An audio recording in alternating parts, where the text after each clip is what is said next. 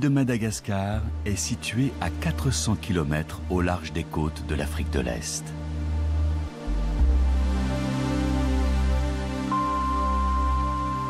Sa faune est exceptionnelle et unique.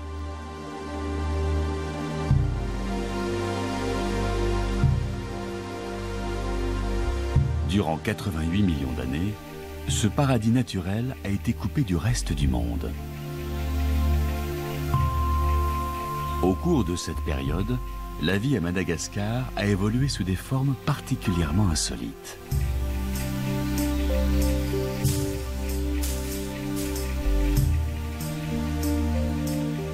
L'île abrite notamment l'une des créatures les plus sophistiquées, le caméléon.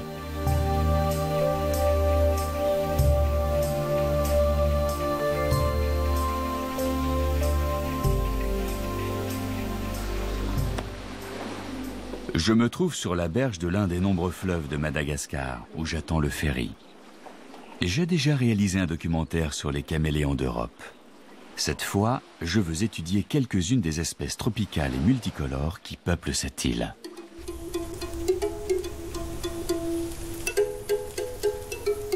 L'origine des caméléons est encore inconnue, mais beaucoup de gens pensent qu'ils sont apparus à Madagascar.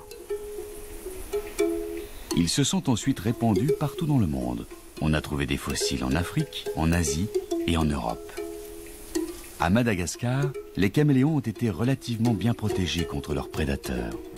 La moitié des 208 espèces recensées vit ici et seulement ici.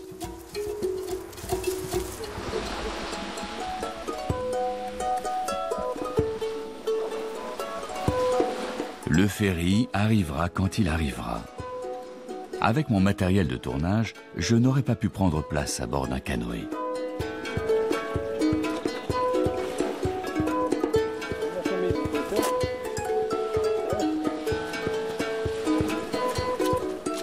La patience n'est pas mon fort.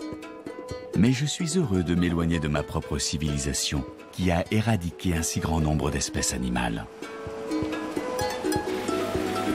Il n'y a pas de tarif précis pour mon 4x4. Je paie avec du carburant que j'ai siphonné de mon réservoir.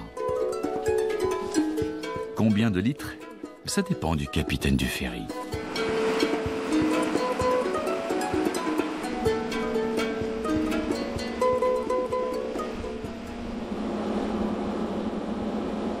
Pour commencer, je me dirige vers le sud de l'île. Les routes qui traversent le plateau sont agréables. C'est pourquoi les bergers les empruntent avec leurs énormes troupeaux.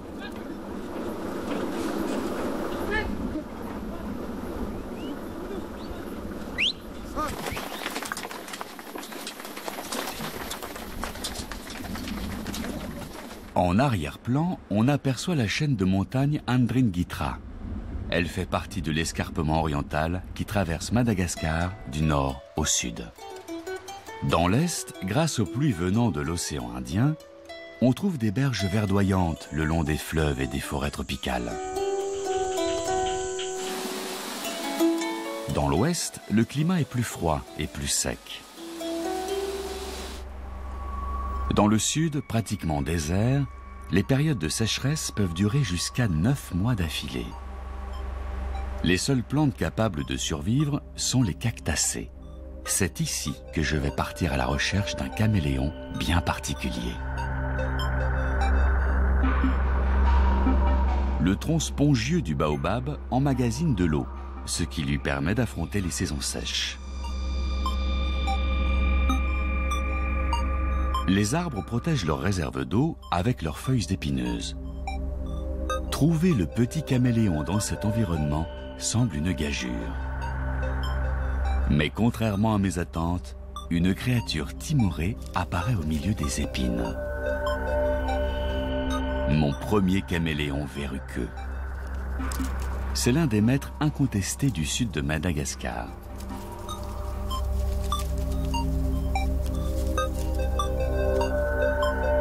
Adapté au climat désertique, il se contente d'une très faible quantité d'eau.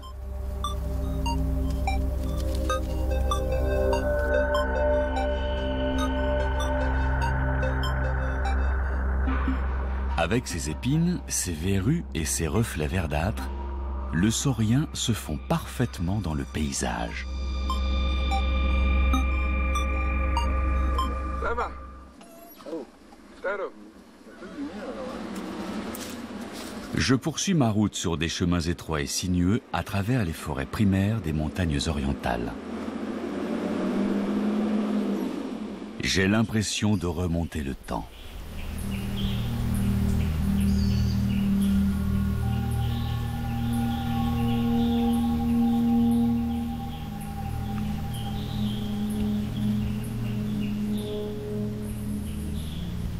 Queue préhensile et leurs orteils fusionnés pour s'agripper aux branches représentent une évolution naturelle qui m'a fasciné lorsque j'ai découvert mon premier caméléon il y a de nombreuses années. Celui-ci est l'un des plus grands au monde. Il peut atteindre un mètre de long. C'est une espèce endémique de Madagascar. Le caméléon de Parson.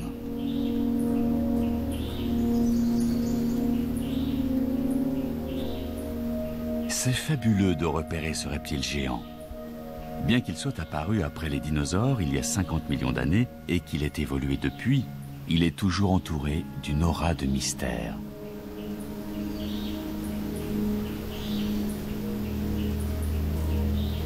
Le mâle a une tête casquée pourvue de deux cornes pour se défendre, et sans doute aussi pour impressionner les femelles. Ses yeux sphériques, avec un champ de vision à presque 360 degrés, sont une autre particularité de l'évolution fabuleuse de cette espèce. Ils contribuent à lui conférer cet aspect subtil qui ne cesse de me stupéfier.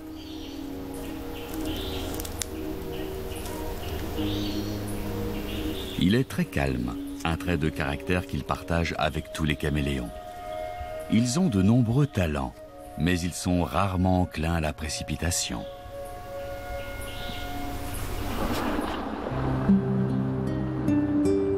Y a seulement 250 000 ans que les hommes ont fait leur apparition à Madagascar, en provenance d'Indonésie et d'Afrique. Ils ont découvert un paradis naturel. De nos jours, certains disent que Madagascar devrait être proclamé le huitième continent. 90% de sa faune et de sa flore sont endémiques. Mais le paradis originel a pratiquement disparu. La croissance démographique est l'une des plus fortes du monde. Dans ce pays qui compte parmi les plus pauvres de la planète, l'âge moyen est de 18,2 ans.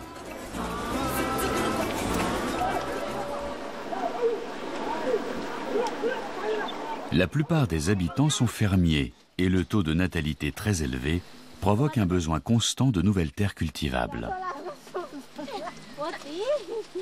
Il gagne ses terres en brûlant les forêts primordiales.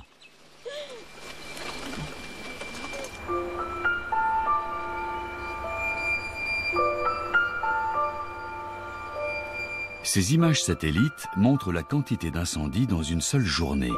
Chaque point rouge correspond à un feu et les colonnes de fumée sont nettement visibles.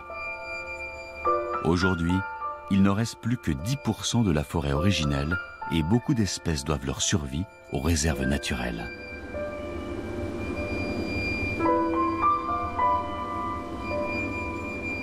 La culture du riz et les grands troupeaux de bétail sont également responsables de la perte de la forêt. Il y a 400 ans, cette plaine était couverte d'arbres. Sur les plateaux qui ressemblent à la savane, je trouve une autre espèce résiliente, le caméléon d'Oustalet. Il part chasser dans l'après-midi. Cet individu est un vieux mâle. Son terrain de prédilection est une terrasse cultivée qui regorge d'insectes, notamment la délicieuse sauterelle. Une queue préhensile, des pieds qui s'agrippent, une vision extraordinaire et un outil de chasse impressionnant. Une arme de précision implacable conçue pour attraper les insectes.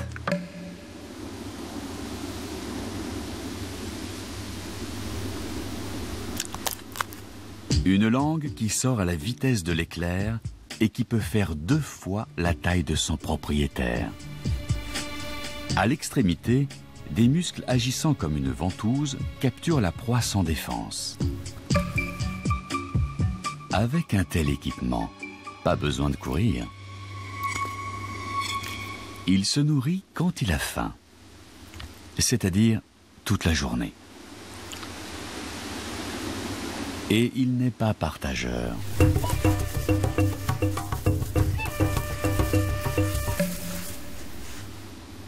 Il ne mord pas son rival pour le blesser, mais pour lui faire comprendre qu'il n'est pas le bienvenu.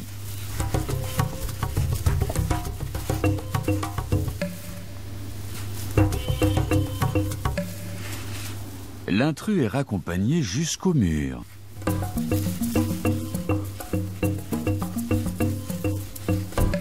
Et doit quitter le territoire.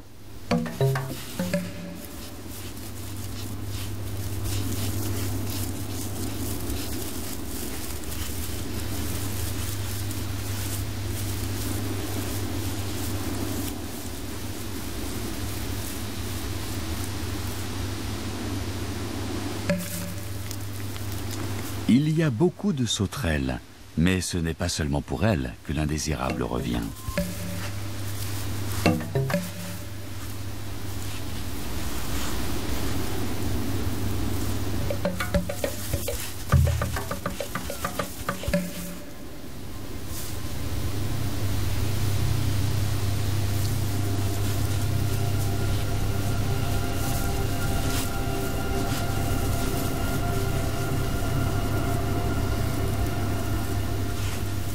Que son adversaire arbore la couleur de la soumission, le noir, le vieux guerrier reste impitoyable.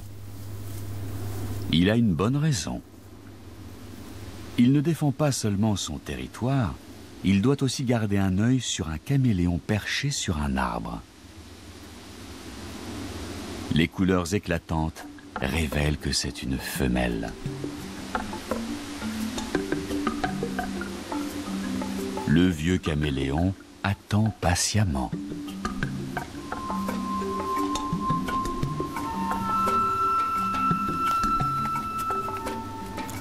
Elle descend avec précaution.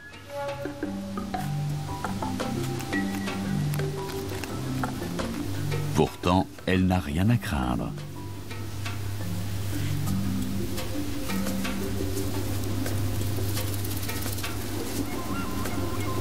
Il ne va pas la mordre.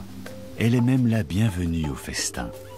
Comme ça, elle pourra fabriquer beaucoup d'œufs.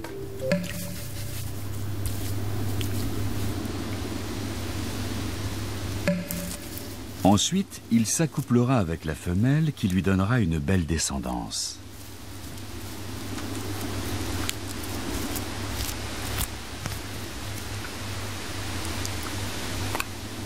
Une fois repue, elle remonte dans son arbre.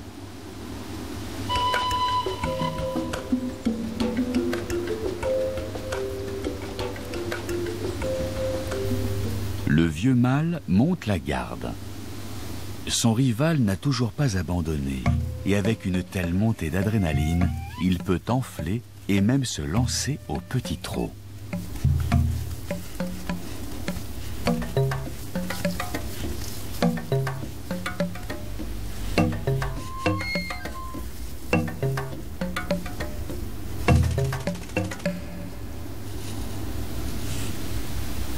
La journée, il défend son territoire et se gave d'insectes. Tant qu'il en a la force, le vieux mâle fait régner sa loi dans le coin.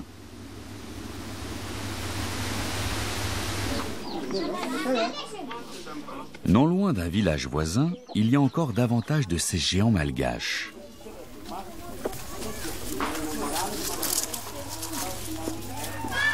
Mais ce n'est pas leur terrain de chasse. Ici, ils représentent une ressource naturelle parmi d'autres.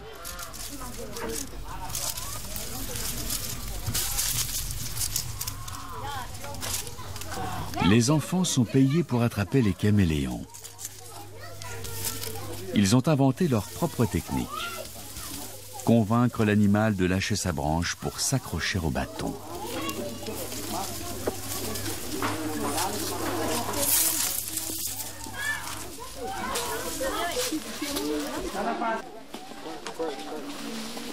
Un autre saurien.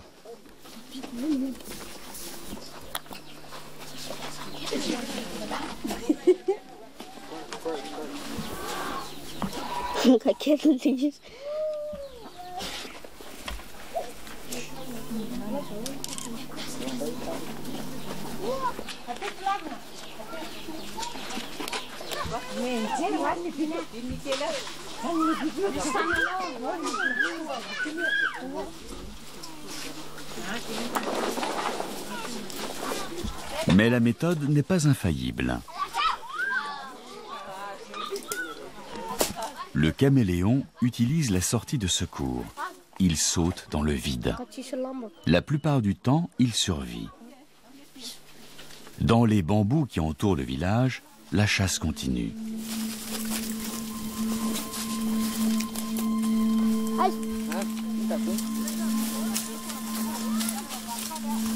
Ces créatures lentes sont faciles à capturer et les couleurs de stress qu'ils arborent ne servent à rien. Les enfants ne comprennent pas ce que les caméléons tentent de leur dire. Ou peut-être s'en moquent-ils. Si j'avais grandi ici, j'aurais sans doute participé avec enthousiasme à ce genre de chasse.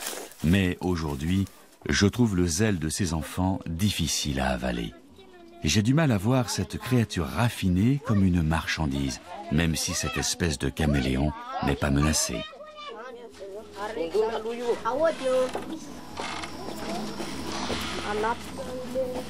Les chasseurs vont ensuite voir le revendeur local.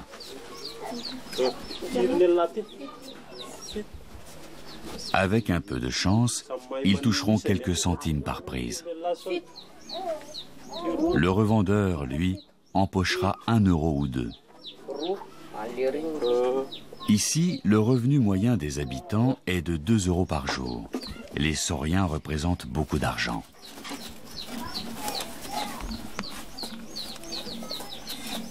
Officiellement, Madagascar exporte 8 ou 9 000 caméléons par an. Officieusement, le nombre atteint 50 000. Le marché pour ce genre d'animal est florissant.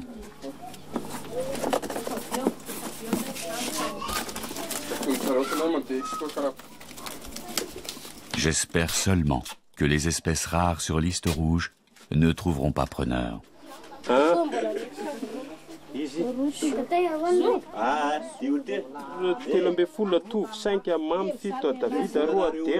Les enfants reçoivent une rétribution détaillée.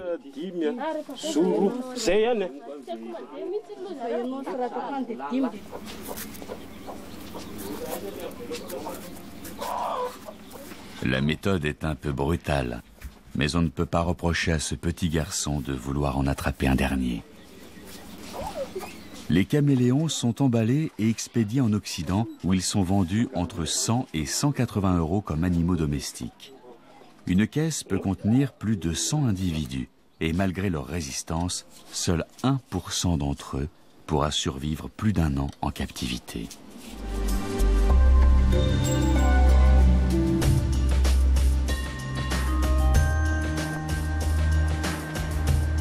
Je continue mon périple vers les montagnes orientales. Après un trajet long et chaotique, la chance me sourit. J'ai trouvé une espèce découverte en 2006, Caluma crypticum. J'ignore s'il existe des images de ce caméléon, mais me voilà avec trois spécimens sur un seul arbre. En plus de ses lobes d'oreilles caractéristiques, le mâle possède un nez proéminent. Il hoche la tête et commence aussitôt à changer de couleur. Il est en train de flirter. Une femelle grimpe sur la branche.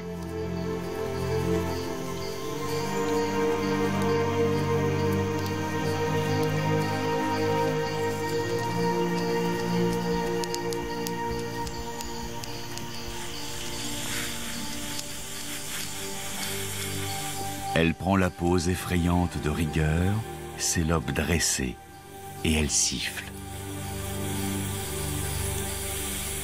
Elle est sexuellement mature et n'est pas du tout impressionnée par les hochements de tête et la couleur dorée de son prétendant.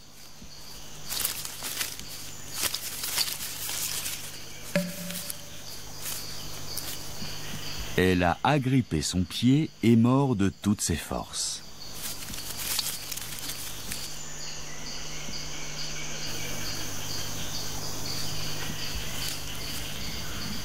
Son refus est catégorique, au point que la teinte dorée du mâle fait place au motif de stress.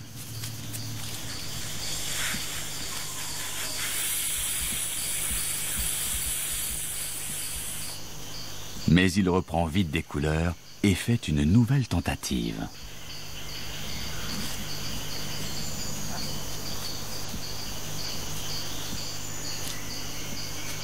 La femelle arbore maintenant sur ses lobes des pastilles dorées qui contrastent avec sa peau noire. À leur vue, le mâle sent toutes ses forces l'abandonner.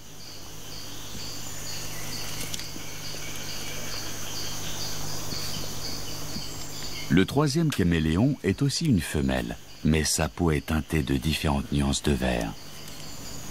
Elle n'éveille pas l'intérêt du mâle.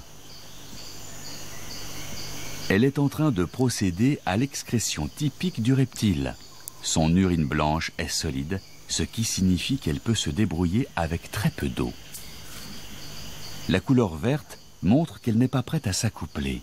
Elle est peut-être trop jeune.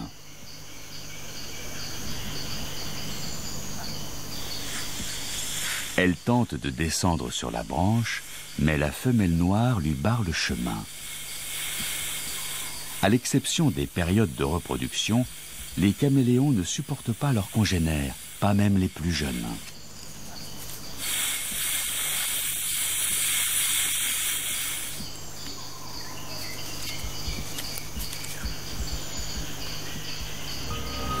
Ces reptiles sont passés maîtres dans l'art du langage des couleurs. Ils ne changent pas de couleur uniquement pour éviter de se faire remarquer. C'est également un moyen de communiquer et de signaler leur humeur.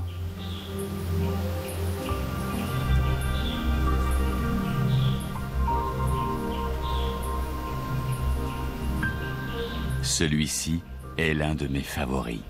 Le mystère de leur beauté me fascine, tout comme l'abondance que la vie peut générer. C'est un immense privilège pour moi de voir le caméléon foursifère minor révéler ses couleurs. C'est une femelle et elle me dit que ses œufs ont été fécondés. La peau d'un caméléon contient trois couches de cellules de différentes couleurs. En ajustant la transparence de chaque couche, le saurien peut offrir une palette de couleurs et de motifs divers.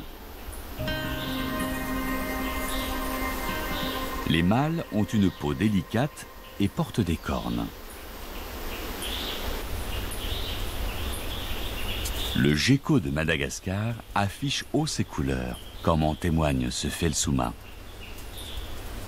Les geckos moins colorés sont également devenus une espèce endémique.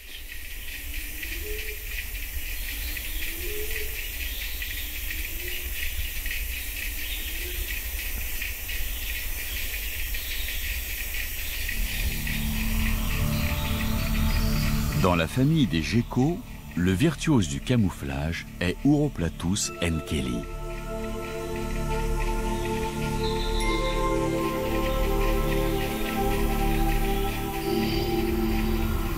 Une feuille flétrie se révèle être un autre gecko, Uroplatus fantasticus. Son déguisement est absolument fantastique. Ses pieds adhèrent sur n'importe quelle surface. Pour lui, la vie dans les arbres est idéale. Encore une autre espèce que l'on ne trouve qu'à Madagascar.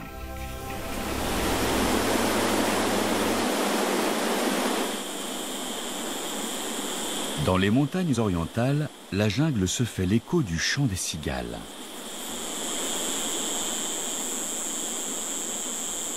C'est ici que je rencontre une autre espèce, le caméléon panthère. c'est un mâle qui part à la chasse.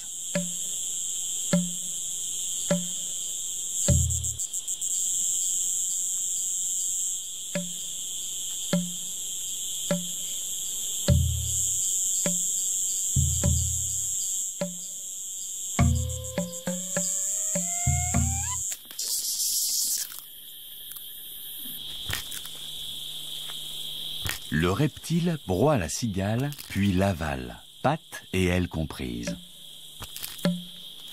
Il peut manger plus de 50 insectes par jour.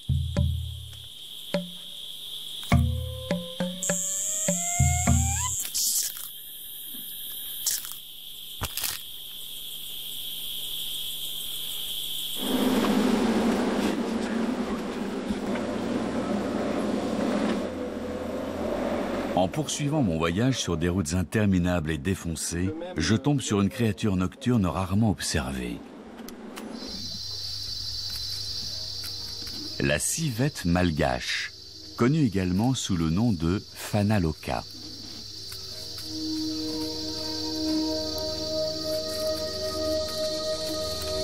Elle a beau être le deuxième plus grand prédateur carnivore sur l'île, elle montre un certain appétit pour les insectes.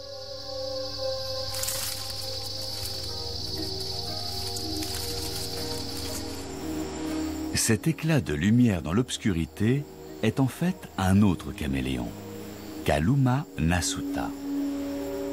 La nuit, les caméléons perdent leur couleur, mais le faisceau de ma torche a réveillé celui-ci et fait jaillir ses couleurs. Ce gecko est également en éveil. Il chasse des insectes. Ses grands yeux lui procurent une bonne vision nocturne. Mais comme il n'a pas de paupières, il les nettoie avec sa langue.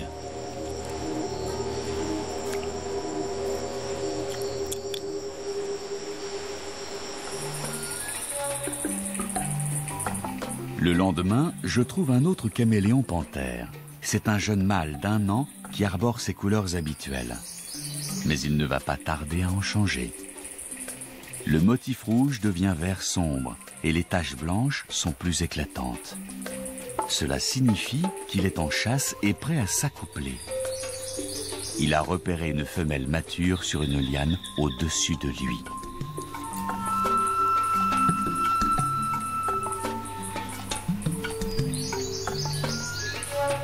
Les femelles n'ont pas une large palette de couleurs, mais leur nuance de rouge varie, ainsi que leur motif. Celui qu'elle exhibe est sans équivoque. Elle n'est pas d'humeur à batifoler.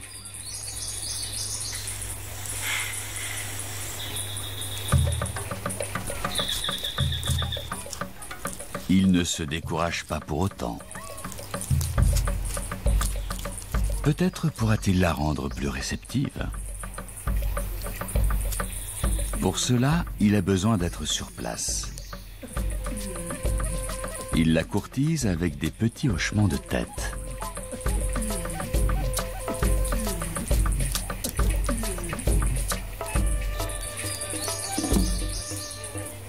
Il secoue la tête plus vigoureusement, des taches noires parcellent sa peau. Puis il tente de l'attraper par la queue. Personne ne lui a jamais appris, mais il sait s'y prendre.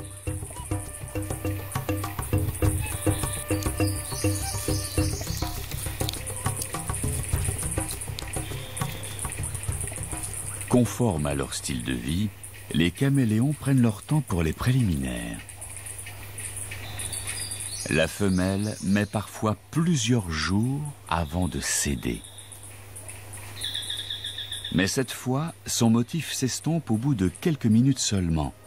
Le mâle a trouvé les couleurs pour la séduire.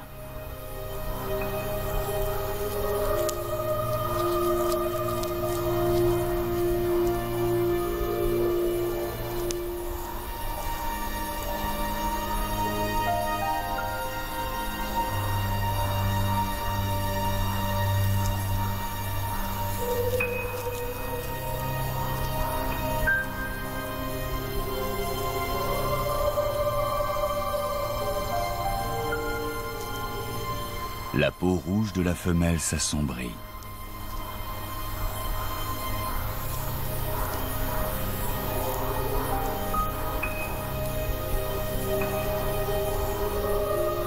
Le jeune mâle a réussi à la combler. Au cours des prochains jours, ils vont s'accoupler fréquemment.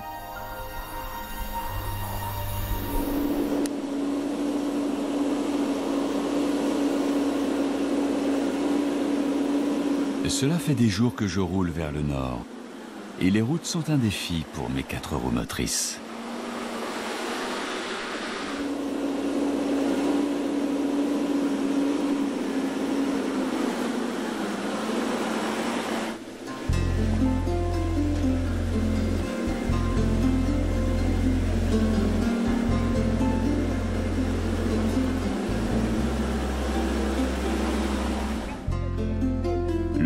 Est un changement salvateur.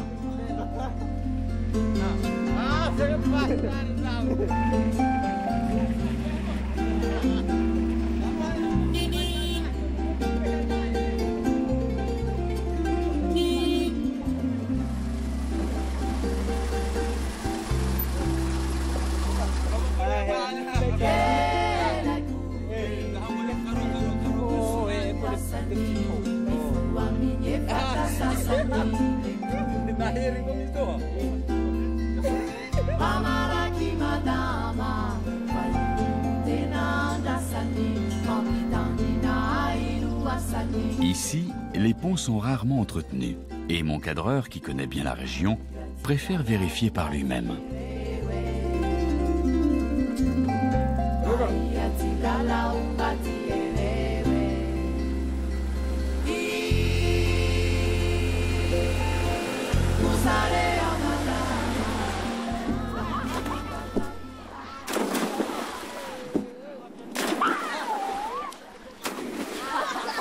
Me revoilà en train d'attendre le ferry sur la berge de l'un des 26 fleuves que nous devons traverser. J'ai la chance de pouvoir expérimenter les moyens de transport locaux. J'ai l'impression qu'il me manque quelque chose, mais ce n'est certainement pas mon chez-moi.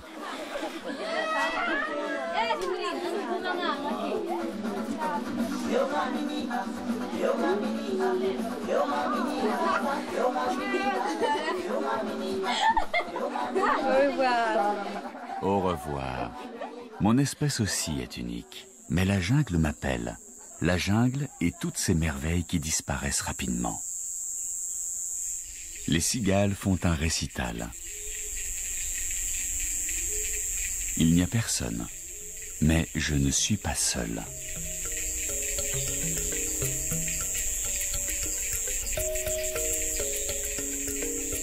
En haut des arbres, un lémurien est assis au milieu des frondaisons. Je reste immobile et soudain, je suis encerclé.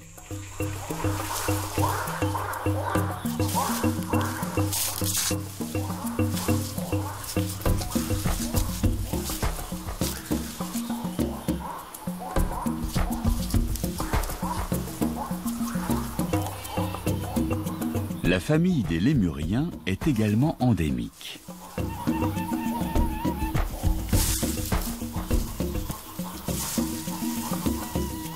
Une centaine d'espèces vit à Madagascar.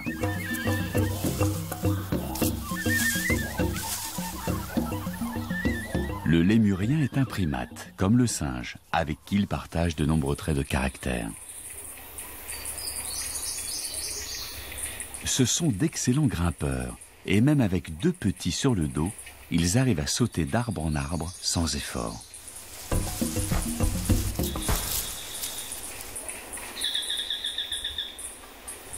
C'est là qu'ils trouvent leur nourriture, insectes, feuilles et fruits.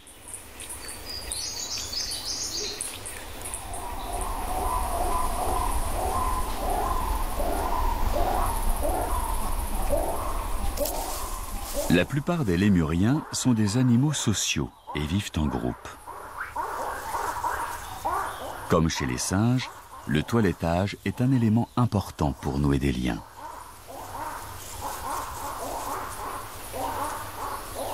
Ces primates sont très célèbres à Madagascar. Ailleurs, leurs ancêtres ont été chassés par les singes.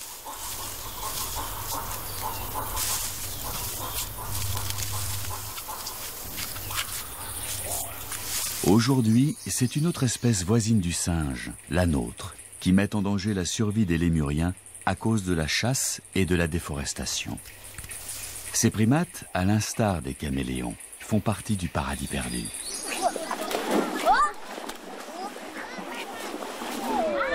Plus au nord, je dois traverser un dernier fleuve.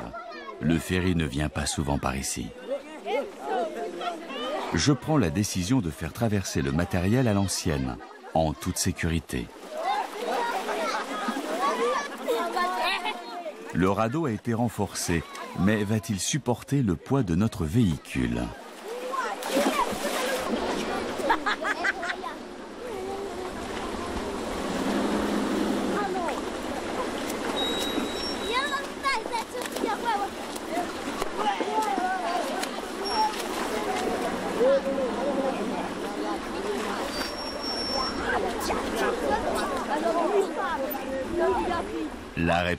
Est non.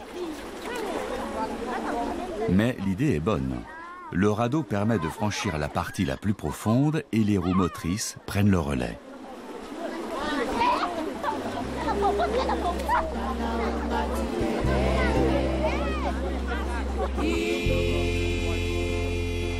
Ma destination finale est l'île de Nozimangabe, qui fait partie du parc national de Mazoala.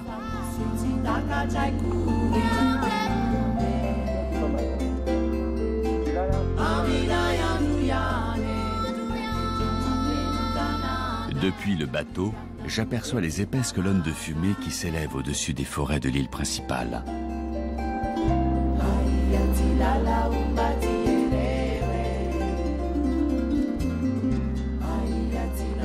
Autrefois, il y avait du commerce et des pirates à Nozimangabe. Aujourd'hui, les habitants ont déserté l'île pour tenter de reconstituer le paradis perdu. Pour l'instant, le résultat est encourageant. La faune est exceptionnellement riche et comprend beaucoup d'espèces rares. L'île abrite quelques-uns des plus petits caméléons du monde, le caméléon Brookesia. C'est pour eux que je suis venu ici. Un camping rudimentaire est le seul endroit où séjourner.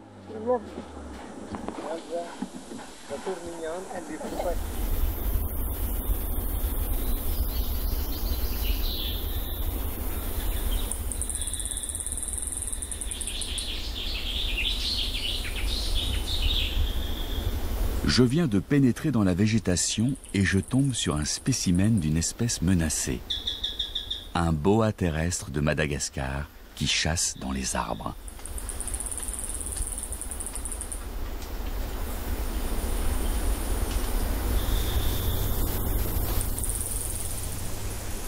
Plus loin, je repère une autre espèce de lémurien, un vari noir et blanc. Ailleurs, il est menacé d'extinction.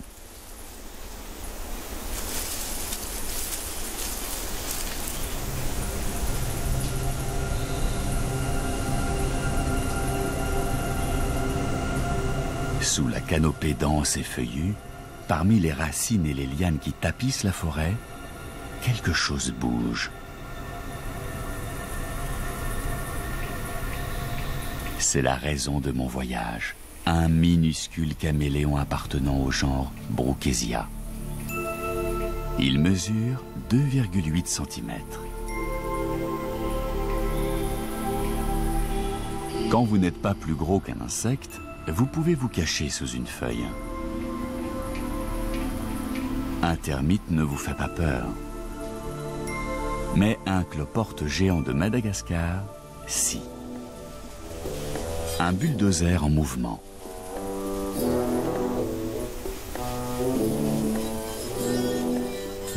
Le caméléon fait le mort dans l'espoir de se fondre dans le paysage.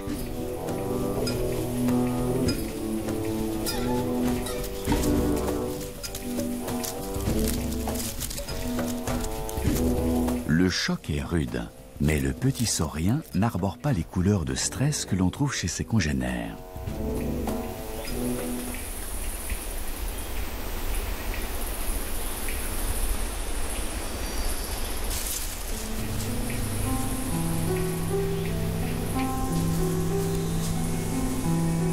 Il vit sur le sol et c'est un piètre grimpeur. Dans cet environnement, ses couleurs ne lui servent à rien. Cette femelle, en revanche, est dans son élément. Ses couleurs se confondent avec le sol de la forêt.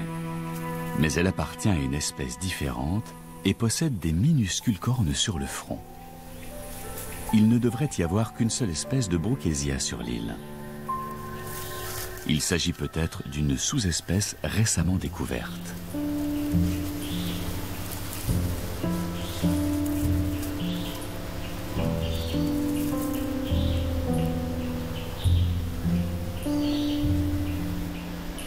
Si vous vous demandez si c'est un véritable caméléon, admirez le spectacle.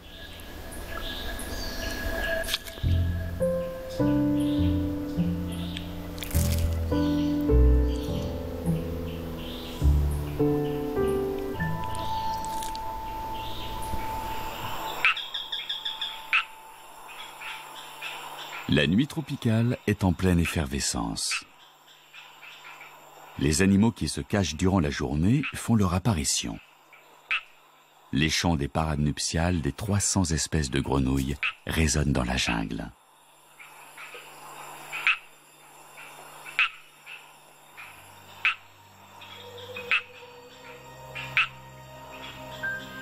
Une sauterelle verte profite de la moiteur de la nuit pour changer de peau et devenir adulte. Certaines araignées de Madagascar tissent les plus grandes et les plus solides toiles au monde. Voici une araignée orbitelle appelée Poltis, qui tisse des mailles très fines. Elles sont toutefois suffisamment solides pour attraper une sauterelle, qui est ensuite emmaillotée dans un cocon de soie.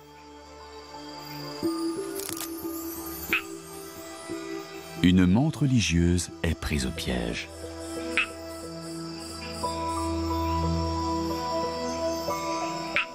Mais cette fois, l'araignée hésite. Elle redoute les mâchoires acérées de sa proie. La menthe religieuse découpe la toile avec ses mandibules et parvient à dégager ses pattes.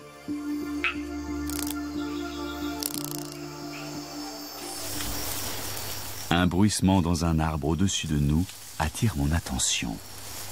Deux yeux brillent dans le faisceau de ma torche.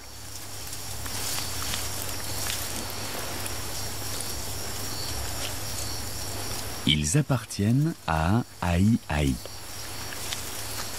Ce primate est abhorré par les habitants qui peuplent les rives, parce qu'ils mangent leurs récoltes, mais aussi par superstition. Cet animal nocturne est un lémurien très particulier. Il est omnivore et a développé au cours de son évolution un long doigt terminé par un crochet, idéal pour la capture des larves de scarabées à l'intérieur des troncs. C'est également un outil précieux pour le toilettage.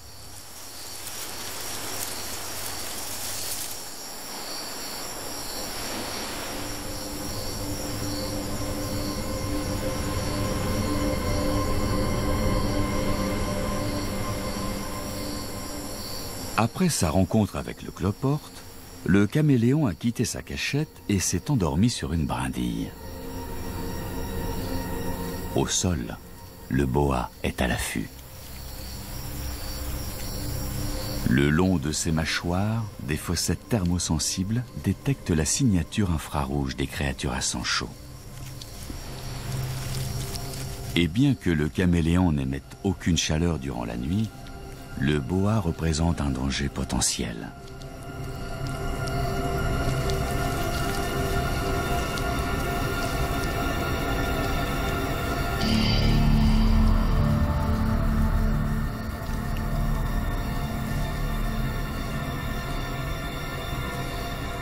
Le caméléon peut remercier la nature. Il est si petit qu'il n'a même pas attiré l'attention du serpent.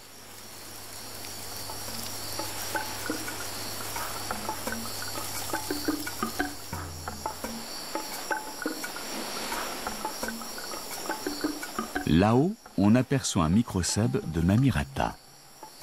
C'est le plus petit des lémuriens. Il ne pèse que 60 grammes. De par sa taille, il dispute aux insectes le nectar des grandes fleurs. Ses pieds lui assurent une bonne adhérence et lui permettent de grimper dans la canopée pour cueillir des fruits.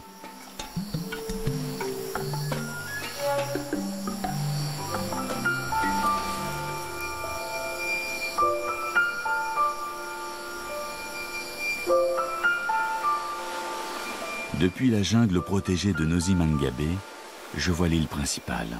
Les feux de forêt qui illuminent le ciel réduisent en fumée la faune que je viens de découvrir.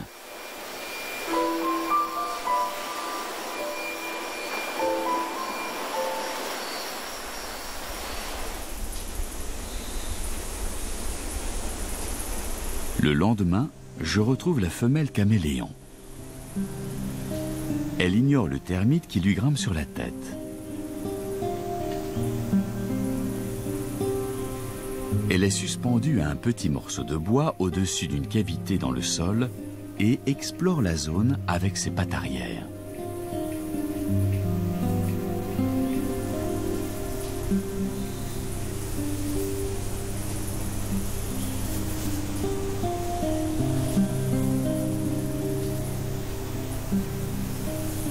Elle a trouvé le bon endroit pour pondre.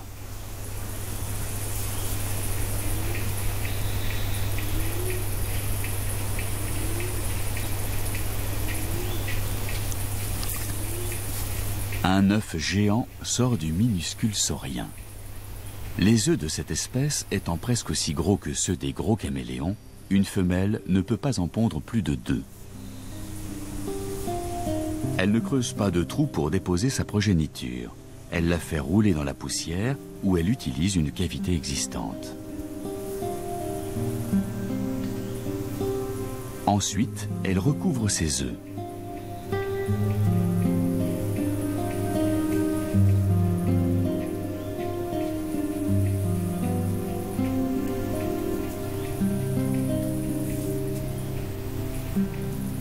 Ses pattes arrière font tout le travail.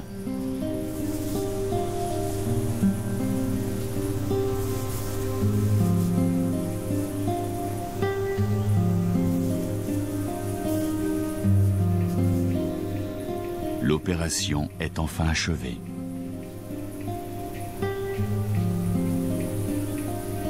Péniblement, elle abandonne les lieux. Chez les autres caméléons, le temps d'incubation atteint presque un an. Cette espèce est plus rapide. En seulement deux mois, une nouvelle génération est prête à éclore.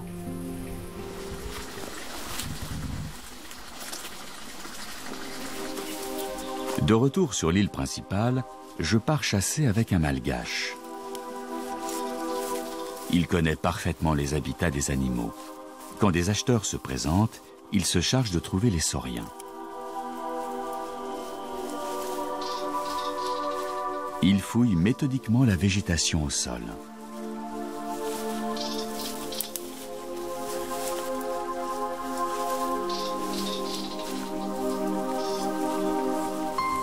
Aujourd'hui, sa mission consiste à trouver une espèce de caméléon extrêmement rare.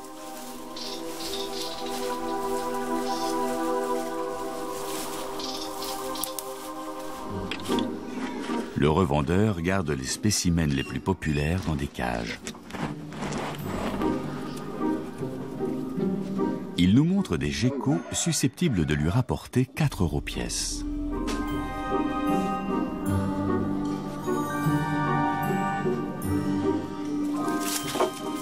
Pour les autres animaux, le tarif est d'un ou deux euros.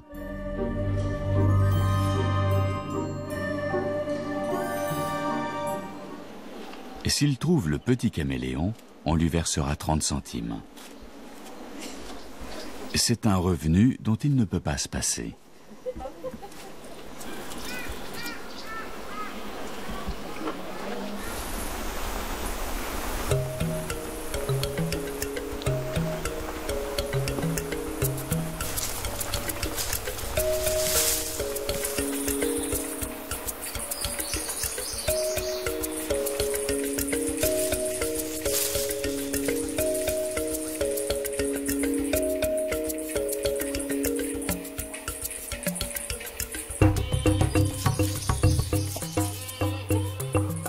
Je termine mon périple sur les images des lémurs kata et je garde en mémoire ces paysages uniques au monde.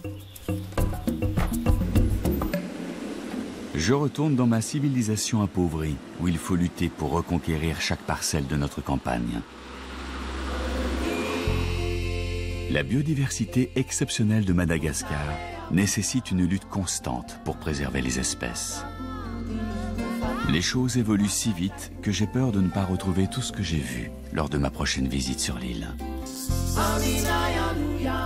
J'espère que ce pays défavorisé, avec sa démographie galopante, réussira à protéger ses plus grandes richesses. Pas seulement les fabuleux caméléons, mais également toutes les espèces endémiques de l'île.